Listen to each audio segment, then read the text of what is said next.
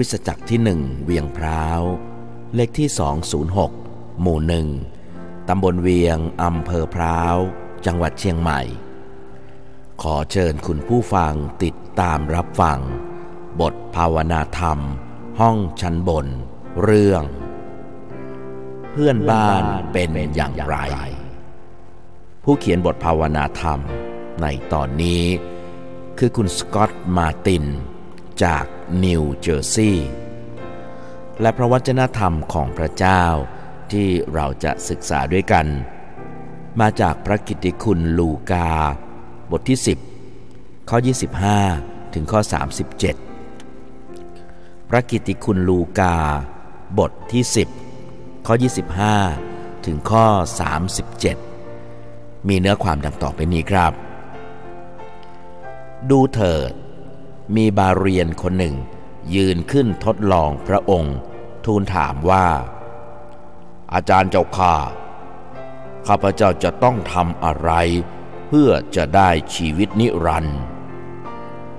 พระองค์ตรัสตอบว่า ในธรรมบัญญัติมีคำเขียนว่าอย่างไร ท่านได้อ่านเข้าใจอย่างไร เขาทูลตอบว่า จงรักพระองค์ ผู้เป็นพระเจ้าของเจ้า ด้วยสุดจิตสุดใจของเจ้า ด้วยสุดกำลังและสิ้นสุดความคิดของเจ้า และจงรักเพื่อนบ้านเหมือนรักตนเอง พระองค์จึงตรัสแก่เขาว่า ท่านตอบถูกแล้ว จงกระทำอย่างนั้น แล้วจะได้ชีวิต แต่คนนั้นปรารถนาจะแก้ตัว จึงทูลพระเยซูว่า ใครเป็นเพื่อนบ้านของข้าพเจ้า พระเยซูตรัสตอบว่า มีชายคนหนึ่ง ลงไปจากกรุงเยรูซาเล็ม จะไปยังเมืองเยรีโค และเขาถูกพวกโจรปล้น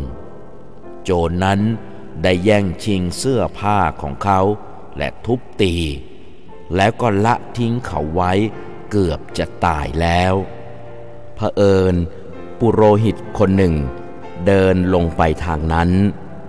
เมื่อเห็นคนนั้นก็เดินเลยไปเสียอีกฟากหนึ่ง คนหนึ่งในพวกเลวีก็ทำเหมือนกัน เมื่อมาถึงที่นั่น และเห็นแล้วก็เลยไปเสียอีกฟากหนึ่ง แต่ชาวสมาเรียคนหนึ่ง เมื่อเดินทางมาถึงคนนั้น ครั้นเห็นแล้ว ก็มีใจเมตตา เข้าไปหาเขา เอาผ้าพันบาดแผลให้ พลางเอาน้ำมันกับเหล้าอางุ่น เทใส่บาดแผลนั้น แล้วให้เขาขึ้นขี่สัตว์ของตนเอง พามาถึงโรงแรมแห่งหนึ่ง และรักษาพยาบาลเขาไว้ วันรุ่งขึ้นเมื่อจะไป เขาก็เอาเงินสองเดนาริอัน มอบให้เจ้าของโรงแรมบอกว่า จงรักษาเขาไว้เถิด และเงินที่จะเสียเกินนี้ เมื่อกลับมา ฉันจะใช้ให้ ในสามคนนั้น ท่านคิดว่าคนไหน ปรากฏว่าเป็นเพื่อนบ้านของคนที่ถูกปล้น เขาทูลตอบว่า คือคนนั้นแหละที่ได้สำแดงความเมตตาแก่เขา พระเยซูจึงตรัสกับเขาว่า ท่านจงไปทำเหมือนอย่างนั้นเถิด และผมจะขออ่านในพระคำของพระเจ้าอีกตอนหนึ่งครับ มาจากพระกิตติคุณมัทธิว บทที่ 25 ข้อ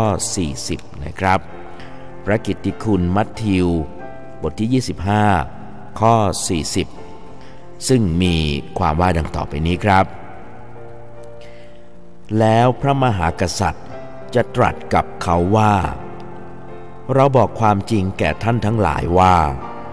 ซึ่งท่านได้กระทำแก่คนใดคนหนึ่ง ในพวกพี่น้องของเรานี้ ถึงแม้จะต่ำต้อยเพียงไร ก็เหมือนได้กระทำแก่เราด้วย และต่อไปนี้จะเป็นเนื้อความของบทภาวนาธรรม ห้องชั้นบน เรื่อง เพื่อนบ้านเป็นอย่างไร ซึ่งมีเนื้อความดังต่อไปนี้ครับ เมื่อไปเยี่ยมบริเวณชานเมืองที่อยู่ใกล้บ้าน ผมรู้สึกตกใจที่เห็นคนจำนวนมาก ทั้งชายหญิงและแม้แต่เด็กๆกำลังนอนอยู่ข้างถนนและที่ว่างอื่นๆ ทำให้ผมคิดถึงคำอุปมาของพระเยซู เรื่องชาวสมาเรียใจดี ที่เอาใจใส่ดูแลความทุกข์ลำบากของผู้อื่น ผมเคยหยุดเพื่อดูแลความขัดสนของบุคคลเหล่านี้บ้างไหม ใช่แล้ว ผมทำเป็นบางครั้ง แต่ก็ยอมรับว่า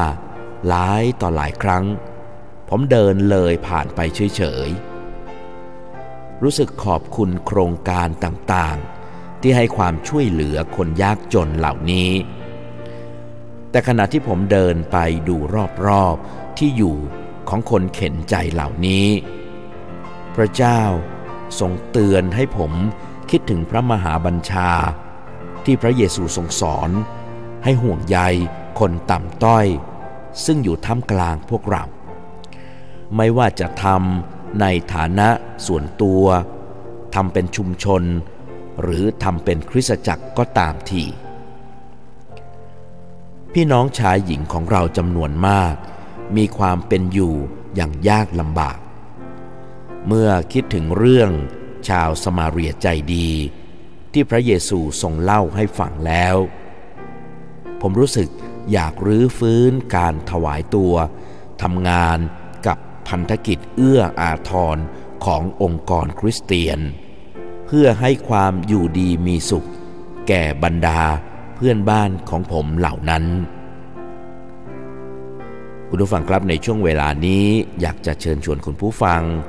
ที่จะได้ใช้เวลา ภาวนา อธิษฐานกับพระเจ้าด้วยกันครับ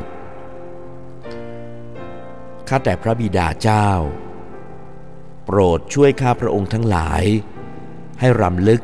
ถึงพระมหาบัญชา ที่ให้ข้าพระองค์ รักเพื่อนบ้านเหมือนรักตนเอง ขอทรงเติมความเอื้ออาทร แก่คนต่ำต้อยที่สุด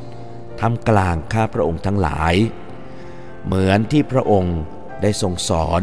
ให้ข้าพระองค์ทั้งหลายอธิษฐานตามแบบที่พระองค์สอนไว้ดังต่อไปนี้ว่า ข้าแต่พระบิดาแห่งข้าพระองค์ทั้งหลาย ผู้สถิตในสวรรค์ ขอให้พระนามของพระองค์เป็นที่เคารพสักการะ ขอให้แผ่นดินของพระองค์มาตั้งอยู่ ขอให้เป็นไปตามนามพระทัยพระองค์ ในสวรรค์เป็นอย่างไร ก็ให้เป็นอย่างนั้นในแผ่นดินโลก ขอโปรดประทานอาหารประจำวัน แก่ข้าพระองค์ทั้งหลาย ในกาลวันนี้ ขอโปรดยกบาปผิดของข้าพระองค์ เหมือนข้าพระองค์ยกโทษผู้ที่ทำผิดต่อข้าพระองค์นั้น ขออย่านำข้าพระองค์เข้าไปในการทดลอง แต่ขอให้พ้นจากซึ่งชั่วร้าย เหตุว่าราชอำนาจฤทธิเดชและพระสิริ เป็นของพระองค์สืบสืบไปเป็นนิด อาเมน เป้าหมายของคำอธิษฐาน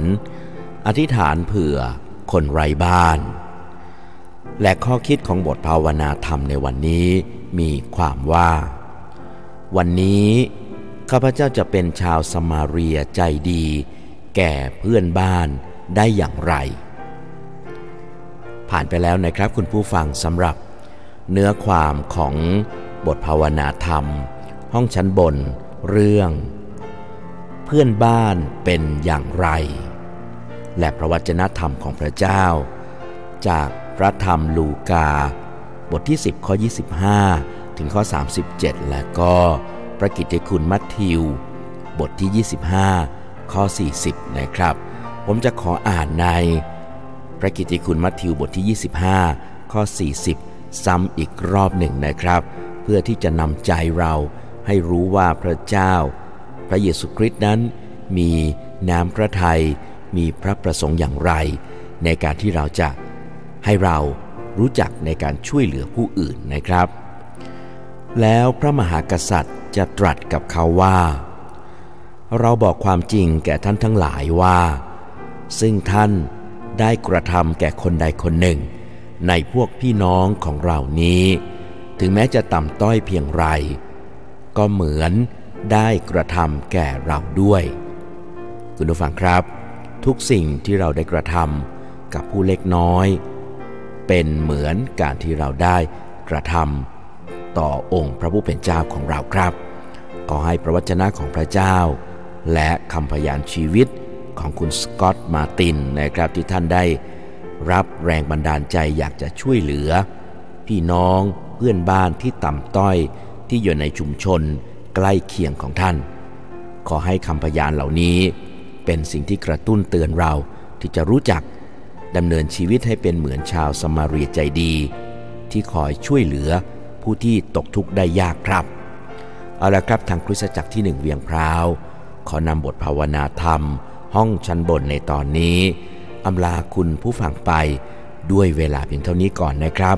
ไว้กลับมาพบกันใหม่ในตอนต่อไปสำหรับวันนี้ ขอพระเจ้าสถิตอยู่ และอวยพระพรคุณผู้ฟังทุกท่าน ให้ได้รับพระพรเพื่อที่เราจะมีเพียงพอสำหรับแบ่งปันให้กับผู้ที่ขัดสน ซึ่งอยู่ในชุมชนและอยู่รอบข้างเรา จนกว่าเราจะกลับมาพบกันใหม่ สวัสดีครับ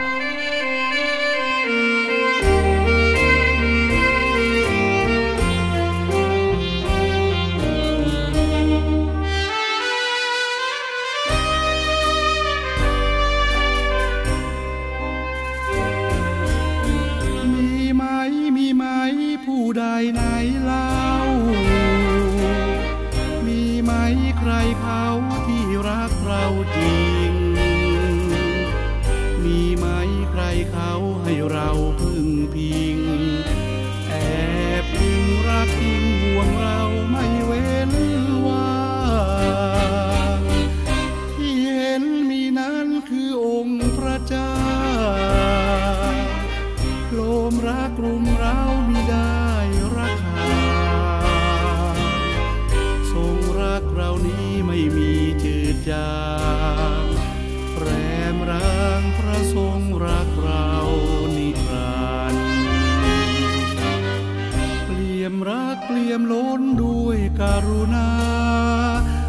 ใดในราพระทรงคุณค่า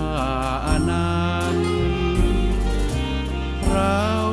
ควรมาผูกสัมพันธ์รักพระองค์ท่าน พระเจ้าผู้ทรงพระคุณ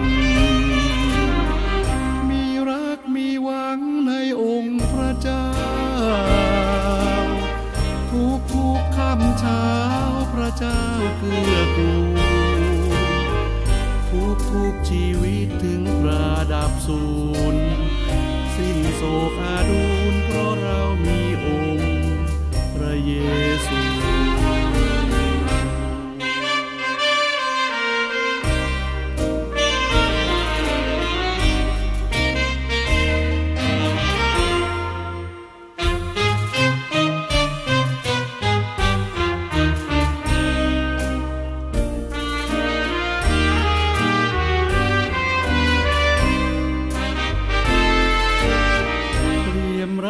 ยมล้นด้วยกรุณาหาใดในราพระทรงคุณค่าอนันต์เราควรมาผูกสัมพันธ์รักพระองค์ท่านพระเจ้าผู้ทรงพระคุณ